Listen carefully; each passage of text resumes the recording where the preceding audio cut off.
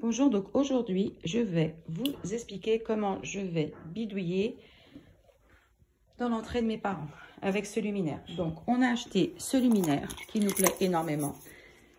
Le souci, c'est que ce luminaire, vous voyez, il a cette hauteur-là. Il est très haut, ok? Il a une certaine hauteur.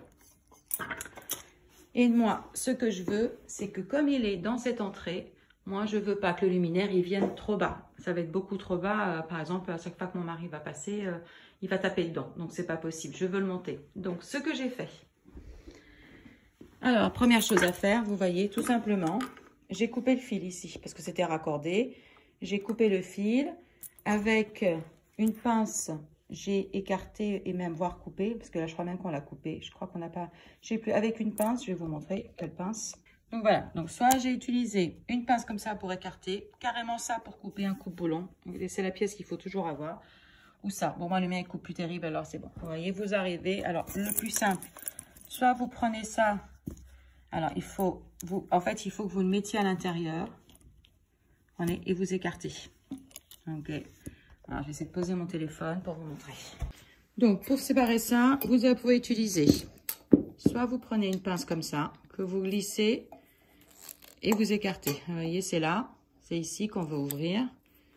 Je me mets comme ça, sur le côté, et je tire dessus. Sauf que quand on a une fille, voilà ce qui arrive, zéro force. Les garçons, ils y arriveront, parce que moi, mon mari, comme ça. Donc moi, maintenant, je me casse plus les pieds. J'ai mon coupe-boulon. Donc, je l'écarte. Je vois quand est-ce que la maille rentre dedans. Vous allez voir. Pourquoi s'embêter Et là, là, vous coincez. Et là, tout ce qu'il y a à faire, regardez. Et voilà Pourquoi s'embêter quand on peut faire simple? Si vous ne voulez pas les conserver, c'est vraiment... Et là, vous les séparez. C'est ce qu'il faut faire. Si vous voulez conserver, là, il va vraiment falloir essayer de les écarter. Bonne chance. Certains, c'est super facile. Ceux-là, ils sont compliqués. Sur moi. Moi, vous voyez, j'ai cette... Généralement, ça vient avec ça. D'accord Le souci, vous voyez l'inclinaison que j'ai? Ici, j'ai un grand angle.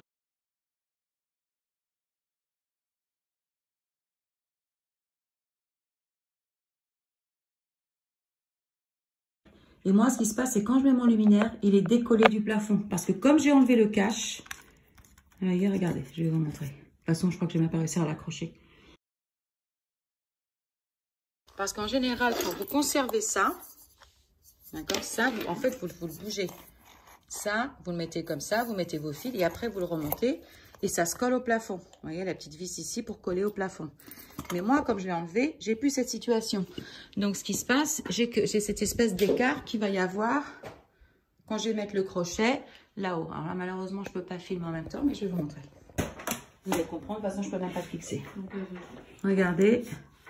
Je peux même pas le mettre, en fait. Je peux pas. C'est super compliqué, c'est trop dedans, enfin c'est un cauchemar.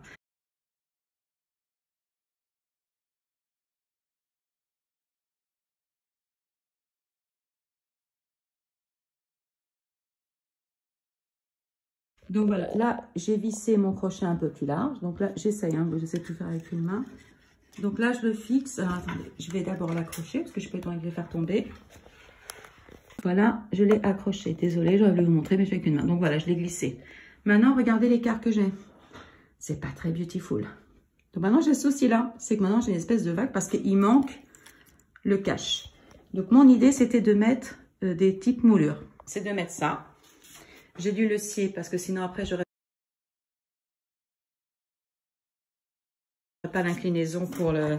Donc, je l'ai coupé à la scie sauteuse. Hein. Ça coupe très droit, comme vous pouvez le voir. C'est nickel. Et l'idée, ça va être de faire ça en fait. Mais vous allez comprendre. Voilà, je vais faire ça. Donc le trou, c'est moi qui l'ai fait au cutter, hein, ce trou-là. D'abord, j'ai percé dedans et après, j'ai fait des coupes au cutter. Vous voyez? Et maintenant, j'ai toujours le même souci, c'est toujours loin. Donc, le souci, c'est qu'à partir du moment où je vais mettre ça, j'aurai aucune inclinaison pour accrocher mon, pour mettre mon, mon luminaire.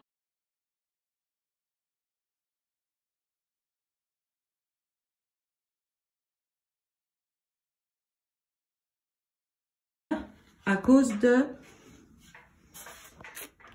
J'essaie de vous montrer, mais il y a plein de fils partout. Alors, ça, c'est trop incurvé. Alors, ce que je vais faire, je vais couper avec mon coupe-boulon, je vais couper par ici. Alors, je vais pas faire celui-là, parce que dans entre-temps, j'ai découvert que pour qu'il soit bien collé, en fait, je vais prendre la vis la plus petite, que je vais couper au coupe-boulon, et comme ça, moi, je vais pouvoir le rentrer tout droit dans mon plafond.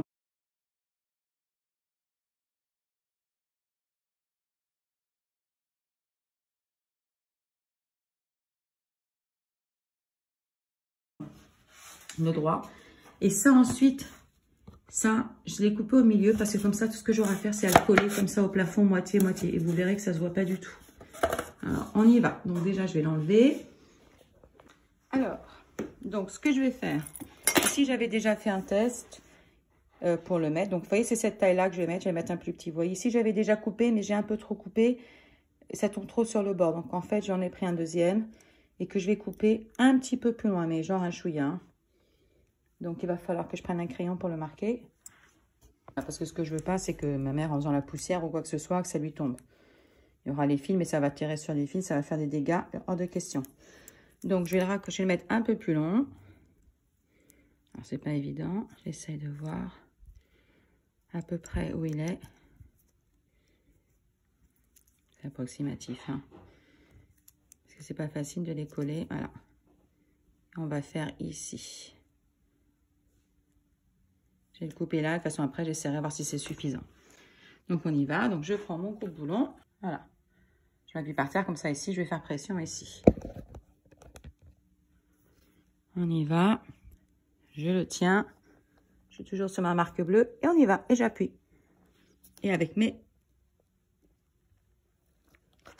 deux mains. Ça s'est barré dans tous les sens. Il est où? Il est là. Est-ce qu'il est un chouïa plus grand? Oui, ça se voit déjà. Je les mets à côté, on voit bien que c'est pas beaucoup.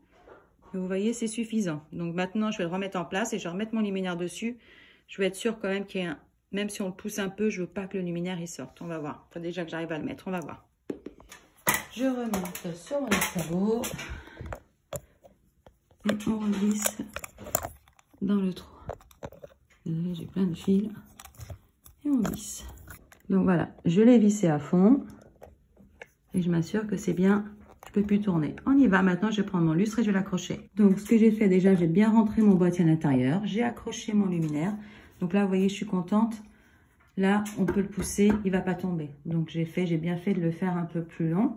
Et maintenant, tout ce que j'ai à faire, c'est à raccorder ici mes fils. Ici, maintenant, ce que je vais prendre, c'est le petit morceau et je vais m'assurer qu'il rentre bien, mon petit morceau de moulure. Non, d'abord, ce que je vais faire, c'est remettre le courant et vérifier que c'est bien, j'ai bien fait les connexions avant de me lancer dans quoi que ce soit. Donc, c'est parti. On rebranche sur 1. Et là, j'allume ici et on va prier que tout va bien. Hop, ça s'allume. Donc, mes connexions sont bonnes. Je peux couper le courant. On y retourne. Bien évidemment, quand vous faites ça, vous pensez bien à éteindre. Euh, moi, j'éteins tout. La box TV, la box Internet, euh, décodeur, j'éteins tout. Parce que rallumer, éteindre, c'est super mauvais. Et je ne l'ai pas fait pour euh, ma copine Alexa, je vais le faire maintenant. Tout ce qui est comme ça, il, faut débrancher tout. C'est vraiment pas bon. À chaque fois, ça fait des, grosses charges de courant. C'est pas, pas idéal quand ça démarre. Éteignez-les. Là, j'ai un peu oublié.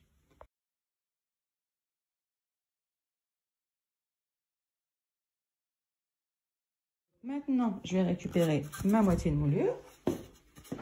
Si vous voulez, j'aurais pu la laisser entière. Le problème, c'est que si je la laisse entière, ça veut dire qu'il faut que je la fixe à mon plafond avant.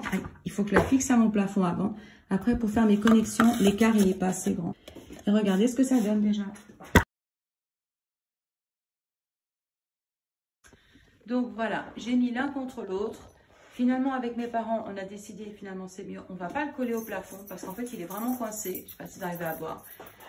Parce que si jamais j'ai besoin, comme nous, on a cette espèce de pièce derrière euh, de domotique, si jamais elle, elle, elle, bug ou quelque chose, là, avec euh, la moulure, ça va être très compliqué. Il va falloir que je décolle pour y accéder parce que je vais difficilement, je vais jamais pouvoir enlever le luminaire avec la moulure. Donc, en fait, ce que j'ai fait, je les ai rapprochés. La moulure, elle la tient parfaitement. Tout ce que je vais faire, c'est que je vais cacher là, ici, de ce côté-là, les fissures avec du mastic. Ah. Et je vais en mettre dessus. J'ai mon petit bol d'eau avec mes 2-3 euh, gouttes de, de pec citron, un peu de ça pour camoufler un peu le... Puis ça, ça collera un petit peu finalement, mais ça après j'aurais plus qu'à mettre un coup de cutter et ça partira quand j'aurai besoin d'aller en dessous. Donc, collez-le si vous voulez, mais effectivement, je pense que comme ça, c'est très bien et ça ne bouge pas. Vous voyez, j'ai mis du mastic, l'acrylique. J'appuie dessus pour que ça creuse. Voilà, on fait bien entrer dedans.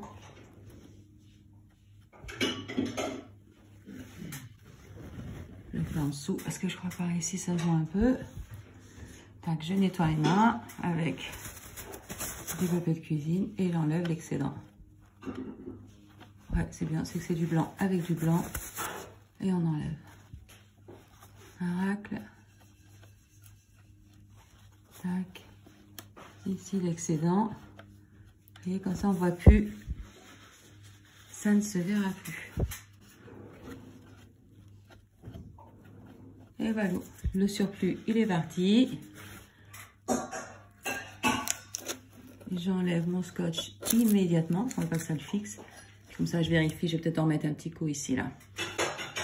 On revient. Donc maintenant, avec mon éponge magique que j'ai légèrement humidifiée, je vais enlever ces petites marques là. On va voir si ça part. Là, vous savez ce que c'est C'est quand je récolle et que je me suis pas lavé les mains. Voyez, ça part. Marque noire, là, puis même ici, là. Donc. Vous pouvez le nettoyer un peu parce qu'il y a de la poussière.